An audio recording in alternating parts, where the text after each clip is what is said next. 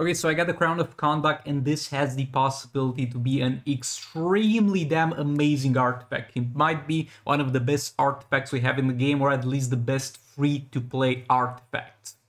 So you're going to get 11% damage at level 1. It stacks so much higher than that at higher levels. But at level 1, and this is a ton for level 1, with this amount for level 1, I'm so happy that it scales faster per power bar used. It's the same as Mr. Freeze passive, basically they transfer that into an artifact.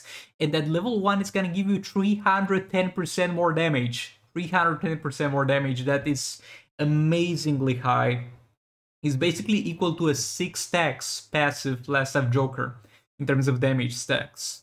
Also, you're going to get the chance to recover uh, power on special above 25 excuse me, combo meter, which is which is fine. This will also go up. But the fact that this is 11% with the potential of 310% at level 1 and the amount of uh, damage will go higher as you get to higher level of this artifact is absolutely insane.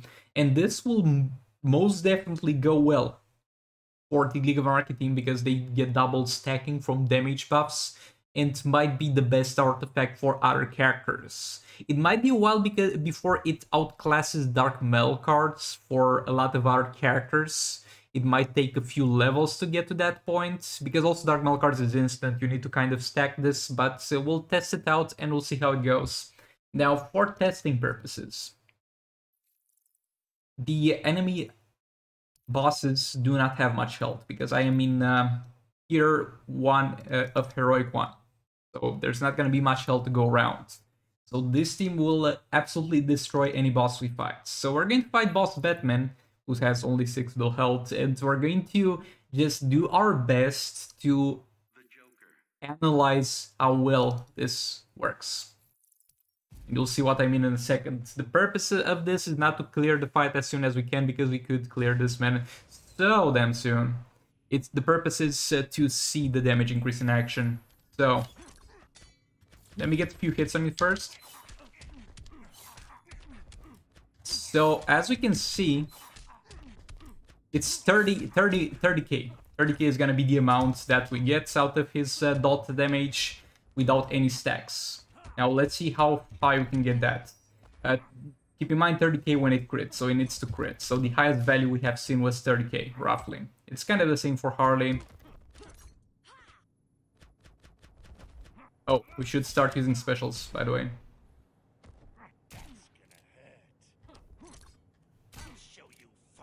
Wait, how do we have 15 stacks? I only used... Wait, wait, wait, wait, wait. I want to check something out, because it shouldn't be 15 stacks there.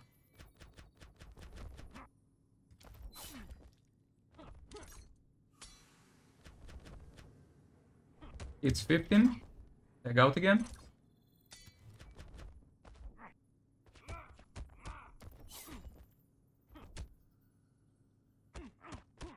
It's 18.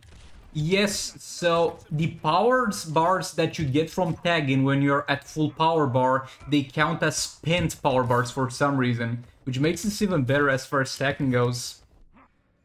So basically the over generation of power bars, it's counted as stacking. Okay, so... Oh boy, 300 mil! 300 mil from 30k! 300k from 30k. Literally, you got our damage increased by 10 times with the League of.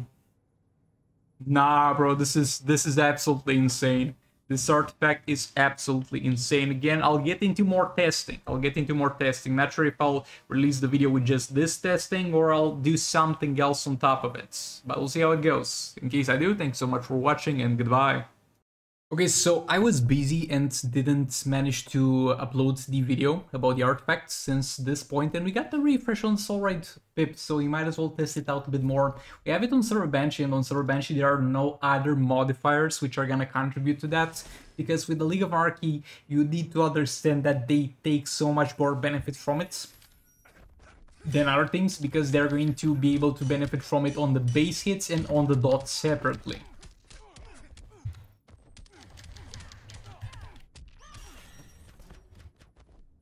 Need to hit him a bit, so we apply the uh, Torment. There we go.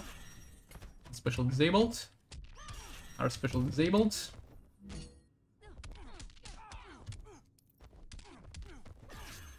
Third special. Kind of keep in mind the numbers we get, though. Look, this man is not surviving until we get full full stacks. That's a problem. Oh boy, them having so low health is such an issue. Ew, there we go. That's that's a nice steal there. Let's use Super with Reverse Flash as well. Just wasting power bars at this point. Just wasting them to get these stacks. Does the Kakkar need to use it specifically? Like, do I need to use the power bars on... Oh, oh, oh, that's bad. That's bad. I need to use the Monster Revenge specifically. It's not like Mr. Freeze passive where it doesn't matter who in the team uses that. I see, I see. My bad, my bad.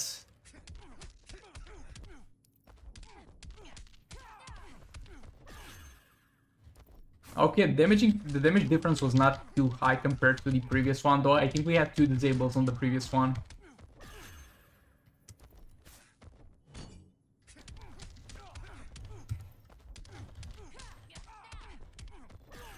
Yeah, that was the end of him. But sir, I can't really tell, honestly. Like, Sir Bench, I can't really tell. And if it doesn't work too well for characters that don't have more than one specific modifier to benefit them, it's not that big of a deal because most characters do have different modifiers. That's why they are good characters and that's why they are kind of meta characters.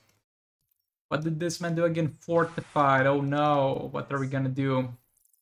So what teams should we try it on? Uh, Batman Ninja Team, I guess, though yet again he will most likely not survive the whole fights.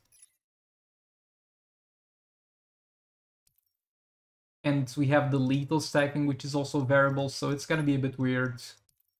But nevertheless, they're gonna be able to stack it real fast because they generate so much power because of the passive. So that's definitely a bonus for them. With our characters, you'll have to tag in and out a lot at the start to generate power, so you spend it because you want to get as fast as possible to the point where you get the maximum benefit out of it. The business team doesn't benefit at all from having uh, free specials from time to time. Because they, they already have more energy than they can ever need. Come on, chill.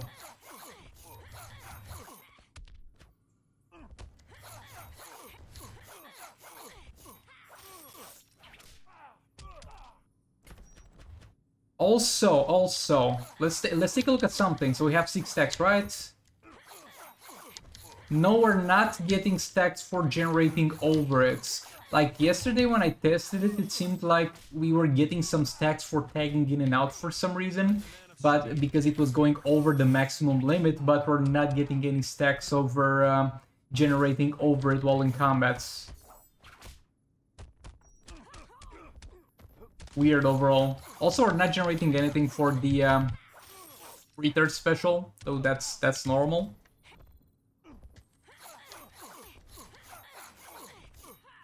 Yeah, I also have no idea for the Batman Ninja team. Like, I'm sorry. It was so easy to tell for the League of Anarchy, for example.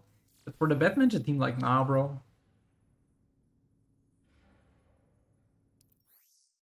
Okay, what else? What else can we use here?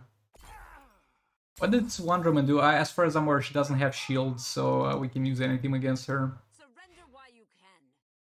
Zabel Special 1, okay. Look, we're gonna take a little bit of a gamble. We're gonna use the OG Black Adam. And uh, he does do far more damage than this with all blades. We're gonna see if we can get more damage than this man's health. Though yet again, that doesn't mean it's a bad artifact, it means it needs to scale better. Because All Blades gives you flat attack, this is going to give you damage. The damage is gonna be better the more attack you have overall, which means the higher level passive artifacts you have. I don't think there's absolutely any way we should not be able to one-shot here, but we'll see how it goes.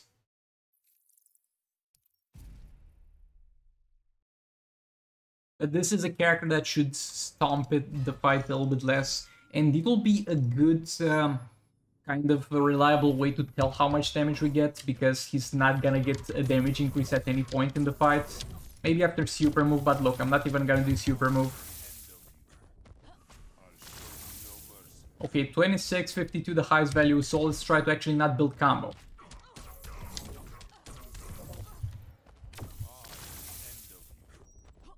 Ninety-eight, the highest we saw. 141, the highest value we saw. 147. Oh, if that's the rate at which it increases, it's it's not gonna be great. So we're doing decent, at decent pace damage to her. And again, I'm not doing combo for the purpose of seeing the raw damage increase. That's the most reliable comparison for the most part. Okay, I think we're at maximum stacks. Yeah, at this point we can start doing some combo. The damage on basic attack is not too bad, because I, I know his damage on basic attack hits and how it should look like, and this is kind of how it looks like with pretty high level Solar artifacts. Like, this is the damage on basic attack hits that this man usually has with uh, two level 4 free artifacts for any sort. It's like two level 4 chakras in Advent of Chaos and so on. So it's actually quite decent. Oh, th this is actually quite good, not gonna lie. And this is gonna scale so well with more attack. Like, th this looks really promising, my dudes. Oh, we got stunned. Oh, so she does stun you on, on specials. Good, good to know. Yeah, honestly, pretty good. It seems to be pretty good, though. Yet again, I might be wrong. We need more health to test shit out. We need more health on enemy bosses. But yeah, that's gonna be it for this video. Thanks so much for watching. Like if you liked it, dislike, disliked it, and I'll see you on the next one. Goodbye!